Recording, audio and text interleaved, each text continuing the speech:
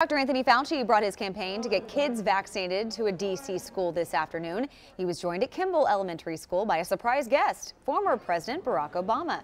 Together, they spread the word about the safety and efficacy of vaccines and encourage parents to get their shots for their children. Afterwards, the former president exchanged fist bumps with the kids in the Southeast school and passed out stickers.